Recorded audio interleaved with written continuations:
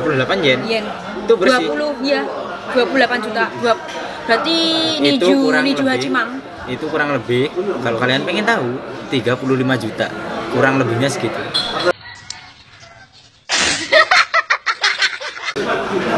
Yo what's up bro? Balik lagi bersama saya Bebila Oke di video kali ini kan. Nah jadi aku nggak sendirian. Aku eh, minta tolong sama temanku. Namanya siapa namanya Wulan Wulan Arta Nah, namanya Wulan. Nah, dia ini eh, cewek yang kerja di Jepang gitu loh. Nah, jadinya kan banyak banget eh, teman-teman cewek itu yang DM saya, teman-teman subscriber itu loh. Nah, Mas, cewek itu bisa nggak eh, kerja ke Jepang atau magang ke Jepang? Nah, jawabannya bisa. Nah, kerjanya di eh, bagian apa saja? Terus kerjanya apa? Gajinya berapa? Kita kulik di sini. Alright. Nah, untuk pertanyaan yang pertama, kenapa memilih negara Jepang eh, kerja atau magang ke negara Jepang daripada ke negara lain? Alasannya apa? jadi kan dulu sih ya itu ceritanya tuh eh, ceritanya dulu kan aku kan mau ke Korea nih. Ah, waktu itu sih tuh umur itu masih 17 tahunan. Terus orang tua itu nanyain ke LPK LPK yang ke Korea gitu tuh bilangnya lebih baik jangan deh ke Jepang aja soalnya ke Korea itu untuk pendaftarannya itu harus nunggu lama banget pemberangkatannya tuh lama. Apalagi itu kan yang peserta se Indonesia itu digabungin jadi satu Iya, iya, iya. kan? Ah. nah, terus itu nanti dipilihin disortir lagi gitu kan. Awalnya aku juga ngeluh sih. Nanti kan apa bahasa Jepang kan itu kan susah kan gitu kan. Udah minder dulu gitu bahasa Jepang kan susah ya udah dicoba dulu aja gitu nah aku cari tahu persyaratannya langsung terus bilang harusnya 18 tahun gitu akhirnya ya setahunan lebih sih belajar di LPK Lurah gitu hmm, jadi sembari eh, menunggu umur eh, apa sampai me- apa di batas persyaratan itu belajar bahasa. Jepang. Jadi itu alasannya. Nah, terus yang kedua, di Jepang itu kerja di bagian apa? Di bidang apa itu? di bidang apa Iya. sebenarnya banyak sih ya Enggak, kamu, Oh, aku, aku kamunya, sendiri. kamunya. Iya. Aku sendiri sih di cleaning service di kayak uh, amenity service gitu kayak apa ya, ya kebersihan amenity gitulah. Nah, itu kerjanya ngapain aja? Masalahnya banyak banget eh, dari teman-teman cewek ini yang nanya itu loh. Kerjanya. Udah ngomong aja gak banyak masalah. sih, banyak sih ya. Kerjanya ya banyak. kayak toilet gitu kan, ngerjain toilet terus apa kan kalau di Indonesia itu kan kita ngerjain kayak lorong gitu kan pakai Iya. mesin eh pakai enggak sih pakai apa ya kayak sapu terus yang ke atas atas pakai atap-atap Oh, iya. yang kayak apa ya sulak apa sih nek Indonesia ini sulak kui kemoceng nah kan kemoceng Iya, kan iya. ya kemoceng gitu kan. Tapi kalau di Jepang itu beda. Jadi semuanya itu kan udah pakai mesin. Jadi ya menurutku beda sih sama di Indonesia emang kerjaannya terus ya kita ngelapin kaca juga. Berhubung aku kerjanya di gedung ya ngelapin kaca-kaca gedung. Kan di udah tahu kan kalau di Jepang itu kan Iya. modelnya satu gedung misalkan ada 8 lantai. Itu nggak semua satu gedung itu buat satu perusahaan. Oh, pasti iya, ada paham, perusahaan paham. banyak gitu kan. Oh iya paham. jadi, Nah. jadi itu dibagi ada dua aku megang itu dua lantai sih Oh, dua lantai. Nah, jadi tuh kerjaannya itu ya bersihin toilet terus apa? Gan, bukan ganti tisu, tapi menyediakan tisu Iya, itu. tisu. sih, Nah. Oh, kalau ah, tisunya habis itu. Nah, gedungnya kayak apa? Tempat kerjanya dia kayak apa? Tak tontonin dikit-dikit ya. Iya teman-teman, jadi kan ini adalah perjalanan ke gedung tempat kerjanya si Wulan. Oke, tak tunjukin jalannya kayak apa, gedung tempatnya ker- eh, tempat kerjanya kayak apa. Alright. Udah siap belum Lan? jalan jalan jalan udah hijau tuh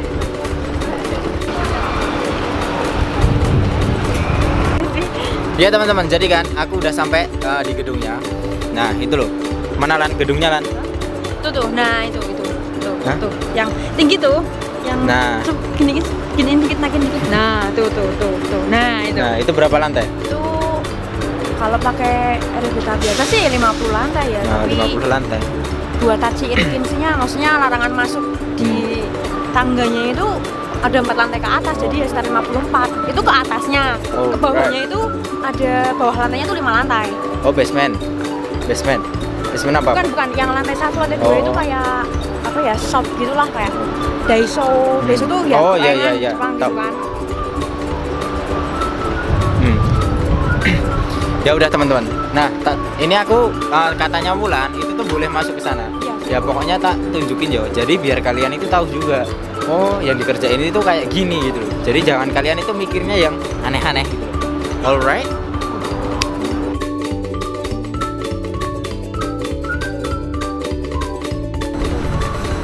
Nah, oke teman-teman. Jadi kan, nah tadi tuh aku mau uh, nunjukin gedungnya si Wulan itu kan tempat kerja kan. Nah ternyata itu teman-temannya tuh ada di sini nih.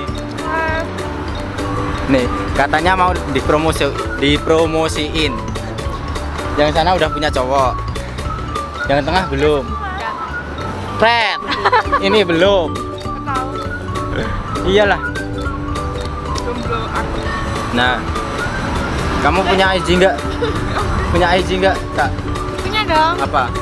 Rizka Agustina Nazir Rizka Agustina Nasir. Kamu mbak? punya Setia Ika 96 Via Ciut Mbak pelan. aku nggak punya kan aku bukan anak anak hits Oh ya udah. aku IG-nya numpang Mas Bayu aja Ya udah kalau gitu. Kita balik lagi ke wawancaranya. Nah, jadi itu tadi eh, tempat kerjanya Wulan. Nah, tadi kan gedungnya kan tinggi banget. Ada ya kurang lebih 50 lantai lah. Nah, itu kamu kerjanya di lantai berapa dan berapa? Aku sih kebagian di lantai 21 sama 37 Dua, 21 sama 37. iya jadi ya Melencengnya jauh Iya sekali sih, ya. iya, iya. Tapi ya banyak sih yang kan di gedung itu kan ada orang Indonesia banyak ya, udah ada tujuh orang kan. Itu yang atasanku itu yang senpai kulah kak kakak kelasku itu megang lantai 42, 45, empat- eh, 42, 47 sama 46.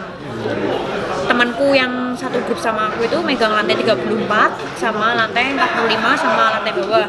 Kalau aku sendiri itu di lantai 21 sama 37. Kalau yang satunya lagi itu di 37 sama 38. Jadi kan kenapa bisa 37 dikerjain dua orang? Iya. Jadi di tengah-tengah lantai 37 itu kayak ada sekatnya gitu untuk membedakan Esugawa sama Enugawa yang kita nyebutnya kan. Hmm. Kita gawa sama Esugawa lah intinya gitu. Nah, itu yang sebelah kiri dikerjain sama seniorku, yang sebelah kanannya itu bagian bagian aku. Oh. Jadinya dibagi dua gitu. Karena kan kita nggak bisa langsung masuk untuk nerobos meja apa nerobos kaca kaisa itu Iya, paham. kaca perusahaan maksudnya Paham.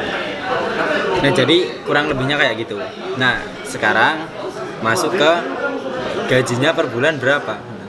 Ini juga banyak banget masalahnya kan aku em, memberitahu gajiku itu kan akunya cowok gitu. Nah, tapi kan gaji cewek kan ya aku pun juga nggak tahu gitu loh. Nah, makanya di sini aku membawa seorang bukti loh. Saksi loh, saksi saksi yang menjalani itu loh biar lebih yakin loh kalian. Berapa gajinya? itu gaji bersih atau gaji kotor gaji bersih gaji bersih sudah dipotong sama apartemen sama Hmm, gas segala hmm. macam ya kalau dipotong apartemen sama kebetulan kan di apartemenku itu kan listriknya nggak bayar ya jadi oh iya. airnya itu cuma dua bulan sekali juga jadi ya agak murah sih. Itu bersihnya sekitar tergantung lemburan juga. Iya rata-rata saja lah rata-rata saja lah. ya uang Jepang.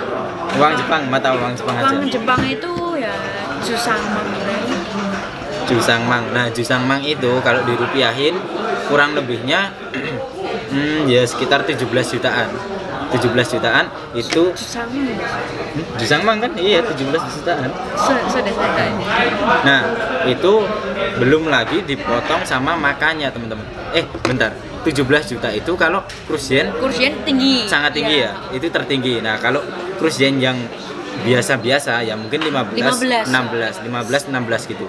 Oke. Nah, itu kan belum dipotong buat makan kan. Makan per bulan itu berapa? Hitungannya juta aja lah. Kurang lebihnya berapa? tergantung sih ya Ya pribadimu, pribadimu, pribadimu. aku itu kalau nggak buru-buruan dikirim ke Indonesia ya 6 juta aja habis 5 juta aja habis gitu maksudnya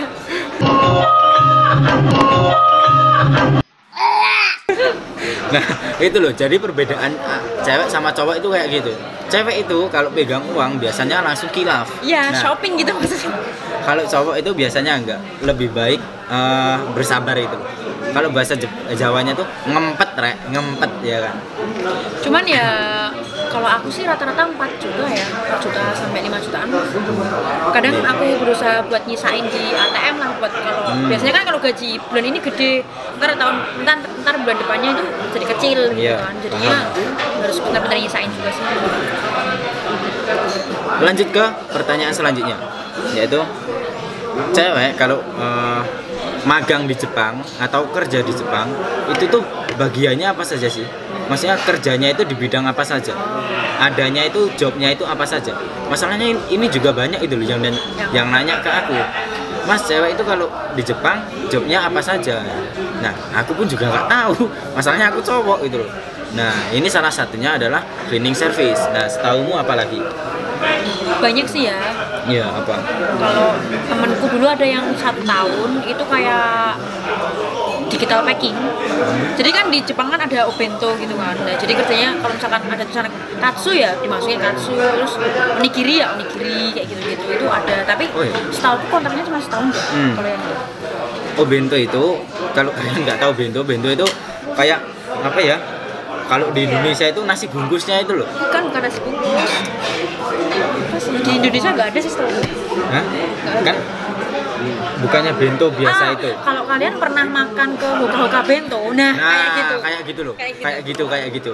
Yang aku maksud ya kayak gitu. Nah, kurang Iya. lebihnya ya kayak gitu. Terus Nah. ada juga kaigo, itu senpaiku. Kaigo itu apa? Kaigo itu perawat. Oh, perawat. Iya. Oke, lanjut lagi. Sorry, tadi makanannya datang. Aku singkirin dulu ya. Nah, tadi sampai mana? Sampai di Kaigo kan? Hmm, Nah, hmm. Kaigo tadi kerjaannya apa? Kalau kaigo aku kurang paham sih ya. Cuman itu memang dia itu benar-benar pendidikannya Oh iya, perawat ya? Iya, Perawat. perawat perawat. Tapi itu ada yang jalur dari D3, ada yang jalur dari SMK. Hmm. Kalau SMK itu setahu aku di Indonesia-nya itu harus belajar kurang lebih 2 tahun. Dan minimal harus punya sertifikat Nihongo itu minimal Ensang. Hmm, Ensang itu Noryoku Ya. sayangnya itu Ensang. Ya kalau kalian udah menggemari bahasa Jepang pasti kan paham kok. Aku yakin. Terus apa itu disentanya juga biasanya kalau Kensu biasa itu kan satu satu bulan ya. Hmm. Kalau Kaigo itu satu bulan Kensu disenta, satu bulannya lagi ada yang khusus buat ngerawat itu. Jadi kerjanya kayak ngerawat nenek-nenek, kayak kakek. Oh, di anu itu loh. Apa Kayak itu? Indonesia kayak panti jompo. Nah, Nah. panti jompo itu loh teman-teman. Nah itu. Tapi ada juga temanku yang kerja di pabrik roti. Pabrik roti juga ada. Itu Mbak Herlina, terus Yova, terus siapa lagi? Mbak Vera. Nah itu di pabrik roti. Tapi masih banyak lagi gitu loh. Pokoknya di pabrik, tapi pabriknya itu pabrik apa itu aku nggak tahu gitu loh teman-teman. Ya pokoknya kurang lebihnya seperti itulah. Ada Oke. lagi sih. Apa? Seihong nanti. Seihong itu apa ya kayak fotokopi gitu. Tapi menurutku itu gajinya malah lebih lebih lebih lebih lebih dari cleaning service. Hmm, dia itu temanku ya itu pernah cerita itu bersih aja pernah sampai 28 juta. Itu uang uang uang, uang Jepang ya 28 yen berarti? 28 yen. yen. Itu bersih. 20 ya 28 juta. Dua, berarti itu Niju kurang Niju lebih, Itu kurang lebih kalau kalian pengen tahu 35 juta. Kurang lebihnya segitu. keren banget tapi ya pernah dua tiga gitu sih Anjir, gajiku gak sampai sak mono rek rek cuman jangan. emang cuman emang dia kerjanya ngoyot maksudnya Nah. berangkatnya itu jam 10 nanti pulang jam 10 malam juga jadi 12 jam gitu kan Nah, pokoknya intinya itu harus bersyukur, ya kan? Jangan mengeluh. Nah, kalau kayak gitu, kalian itu nanyanya gini loh. Ya nanyanya kalian boleh berpikiran eh, gaji di Jepang itu gede itu boleh, tapi kan kita kan juga harus tahu jam kerjanya itu berapa jam, dia bangun tidur itu jam berapa, dia mulai tidur itu jam berapa, dia hari ini eh, lelahnya itu seperti apa. Terus rindunya kepada keluarga itu seperti apa. Itu yang perlu kalian pertanyakan. Oke lanjut ke pertanyaan selanjutnya nah ini ini paling banyak banget yang aku terima. Kerja di Jepang boleh nggak pakai jilbab? Tetet doet tetet tetet tetet itu tetet sih ya setahu saya sih tergantung sama perusahaannya sih. Ada temanku yang kerjanya di bagian pengalengan ikan di daerah Mieken kah? Mieken Hmm. Agak lupa aku juga. Itu dia pakai jilbab boleh. Terus ada juga yang kerja di pertanian di Gunma itu. Itu mereka juga pakai jilbab boleh. Kalau dari Kaisa aku pribadi itu damai. Damai itu artinya jangan boleh, nggak ya. boleh lah. Nah itu semua itu tergantung perusahaan eh, kebijakan perusahaan teman-teman. Nah jadi ya kalian dapatnya seperti apa? Gitu nah. Karena aku nambahin. Nah, karena gini ya kalau aku lihat itu kan kerja di Jepang itu tuh kayak atasnya itu melihat kamu tuh kerja untuk siapa? Jadi kalau kamu kerja untuk orang untuk, oke aku sama kayak ka- kalau aku kan untuk orang kaisa ya orang kaisa kaisa gede di Tokyo kan. Itu ya jadi nggak boleh yang berpenampilan aneh-aneh rambut disemir juga nggak boleh pakai parfum juga nggak boleh itu bener-bener ribet banget di tempatku kan. Tapi ada juga yang kayak di tempat yang aku bilang tadi yang di Sehong terus di pertanian itu kan dia hanya kerja di rumah disediain tempat Iya. untuk motong-motong sayuran kayak gitu. Ya itu kan orang kan nggak banyak yang lihat kan. Jadi ya tergantung kaisanya juga sama yang kamu itu kerja untuk siapa gitu ya. Nah kalau kalian khususnya para cewek ya kalau kalian pengen eh, kerja ke Jepang sebelum kalian interview job interview kerja mendingan kalian tanya dulu. Saya pengennya kerja di Jepang yang boleh pakai jilbab. Nah, itu biasanya nanti dicariin sama pihak LPK. Jadi, kurang lebihnya kayak gitu. Oke. Terima kasih yang sudah menonton video ini sampai habis. Jangan lupa like, share, comment, and subscribe. Minasang hari gitu bisa mas kena mas sekarang. Like, share, terus subscribe. Wah, sudah ada tulisannya. Ja. Arigato. makan dulu